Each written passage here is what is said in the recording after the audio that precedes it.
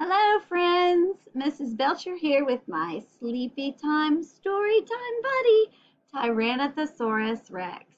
We are very sorry we haven't had story time for a while, but Tyrannosaurus Rex had a little bit of a cold. So he's feeling better now, and he's in his pajamas, and I'm in my pajamas with my snuggly, snuggly doggy blanket, and I am ready for another bedtime story. So, of course, you know, it doesn't have to be bedtime to read a bedtime story. Oh dear, that's Charlie. Move, Charlie. Go, Charlie. so, grab a snuggly friend. Maybe Charlie should be my snuggly friend today. And cuddle up. All right, our story today is called Little Owl's Night. And this story is about a little owl who explores all around the forest where he lives at night. What's that, Tyrannosaurus Rex? Oh, that's a great question. Tyrannosaurus wanted to know why the little owl goes exploring at night. Wouldn't it be easier to explore during the day? Might be easier to see things, right? Well, that's an excellent question. Were you guys wondering that too? So let me tell you a little something about owls that I've learned. Most owls are nocturnal. That's a big word. Can you say nocturnal? Can you clap nocturnal? Watch me. Nocturnal. I counted three claps, didn't you? And that means an animal that is nocturnal is an animal that's active during the night.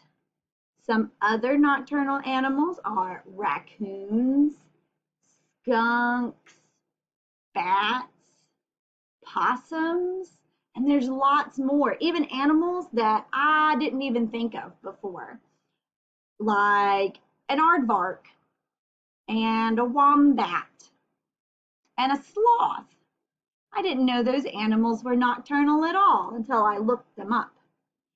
So does that answer your question, Tyrannosaurus rex?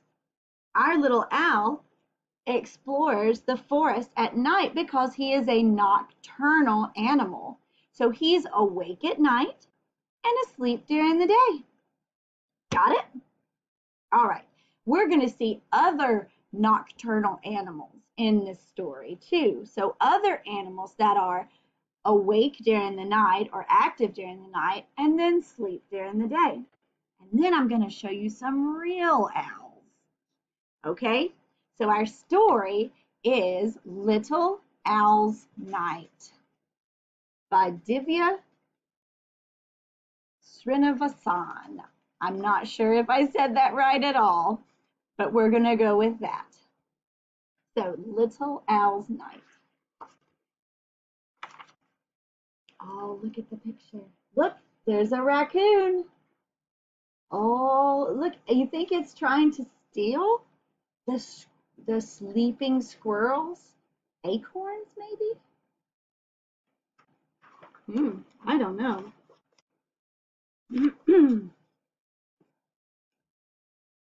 Little Owl was having a wonderful night. I think Little Owl is super cute.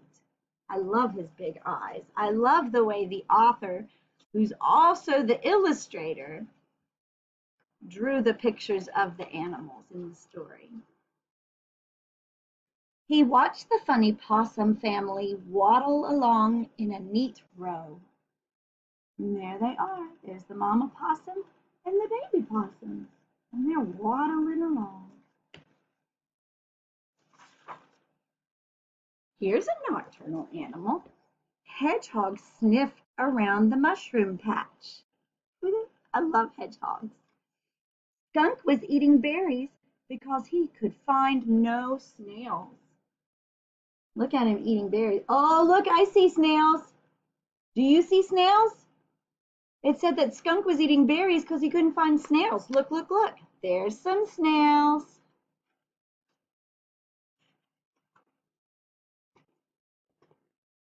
By the river, beavers gnawed at trees. That means they chewed on them. Turtle hid in her shell as fireflies danced all around. Aren't the pictures pretty?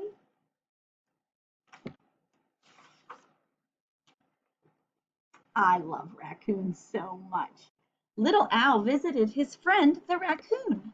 As they sat in the clover, fog rolled in and hovered just overhead.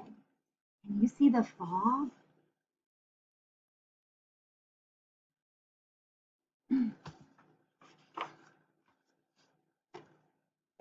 Moths fluttered toward the moon. Silver dust fell from their wings. Isn't that a beautiful picture that the author that the author wrote? That creates a beautiful picture in my head. I'm going to read that page one more time. And you try to put that picture in your head too. Moths fluttered toward the moon. Silver dust fell from their wings. Isn't that pretty? Little Owl wanted to follow, but it was time to head home.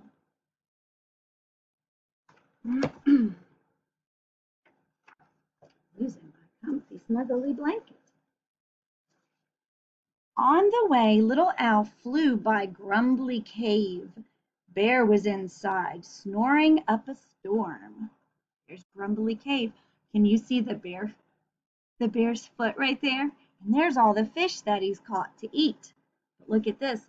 Wake up, bear. Don't sleep all night, Little Owl sang. I want to show you the moon. And look, there, that's a badger. And he's taken one of the bear's fish. Good thing for Badger that Bear's still asleep? But Bear kept snoring as usual. Little Owl flew home to his tree, gazing at the sky. He wondered if the bear had ever seen stars. And look, there's the badger again. I think he's going to get another fish. The bear is snoozing all night. Little Owl sat on his branch. How he loved the night forest.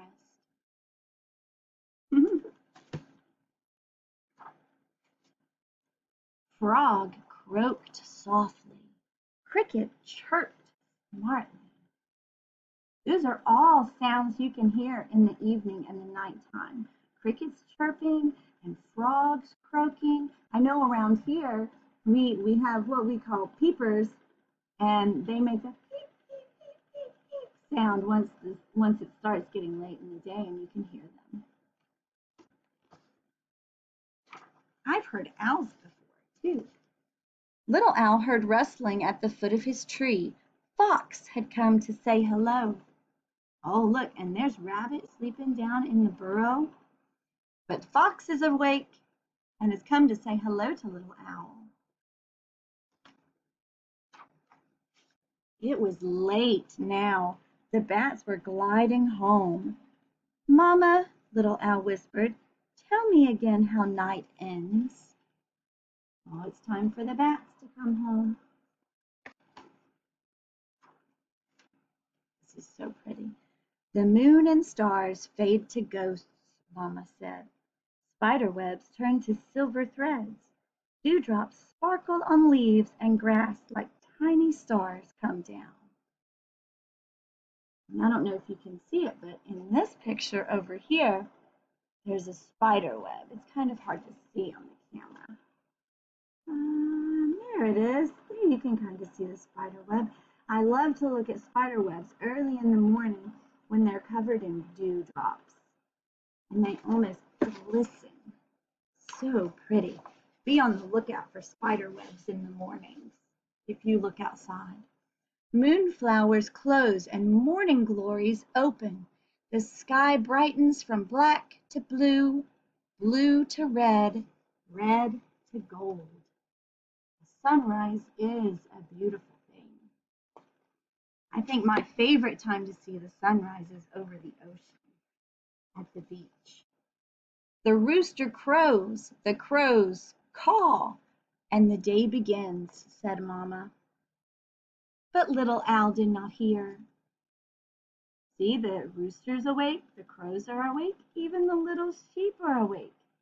Do you know why little owl did not hear? Look at him. He was fast asleep. so, that's kind of different from what we're used to seeing when we go exploring because we usually go exploring during the day and we're sleeping at night. And so does Tyrannosaurus rex. He's a little bit scared of the dark. So, that was a really good story. And I'm really, really snuggled up right now. And I think I could just go to sleep right now.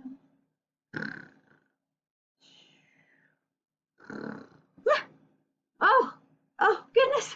I put myself to sleep. I did. You're right. I did have something else to share with our friends. Oh, whew, mercy. That was a good, sleepy bedtime story. But I've been watching more live animal videos uh, from zoos and places all over the world. And I wanted to share a couple of those with you right now. So this is a little different. I'm going to click right here and I'm going to go whoop up into the corner. See me in the corner? Now this right here, this is a live video of the great horned owl. And it is a nocturnal owl, which means it's active. Of course, he's a, she's awake right now, but she's been asleep this morning and her babies are now looking like they might go to sleep too. But she's, oh, look, look at her. Oh, she's Oh, she's sleepy. She is sleepy. But anyway, so they are active. The great horned owl are nocturnal owls. And like the little owl in our story, they're active during the during the night and then sleep during the day. Of course, this mother owl has been watching out for her babies. So she's kind of on high alert, even though it's her sleepy time. Look at her sleepy eyes. So I, now I want to show you a different type of owl. And this is called a burrowing owl. Let me see if I can make this bigger. Oh, hold on. You can't really see him. Well, up here at the very top at the edge of the screen is the boy owl, right? And he comes out of the burrow. Now, if you notice, it's daytime here and the owls are out. What's up with that, Mrs. Belcher? Well, burrowing owls are not nocturnal owls. So they're awake during the day and asleep at night like we are. And if I scroll down here, you can see this is inside their burrow. And this is the mama owl. And she has been laying eggs for the last couple of weeks. And she's laid, she's laid, uh, I think, seven eggs now. And so she used to come out of the burrow quite a bit, but now she stays in the burrow a lot, sitting on her eggs. And I think that's really cool to watch. So thanks for joining us for another bedtime story. I hope you enjoyed it. And I know I did, and it worked, and I put myself to sleep. But join us next time for a funny story about a dog with really, really, really stinky breath. Oh, so we'll see you then.